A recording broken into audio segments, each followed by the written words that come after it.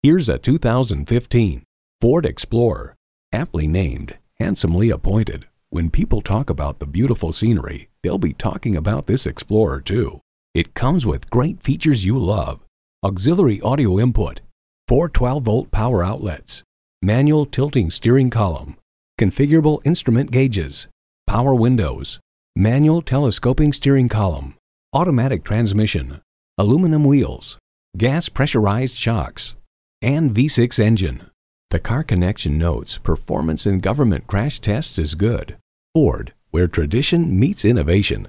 Hurry in today for a test drive. At Sam Pack's Five Star Ford, every vehicle we sell is thoroughly inspected before you buy. Come see us today. We're conveniently located on the Northeast Loop 820 at Rufe Snow Drive in North Richland Hills.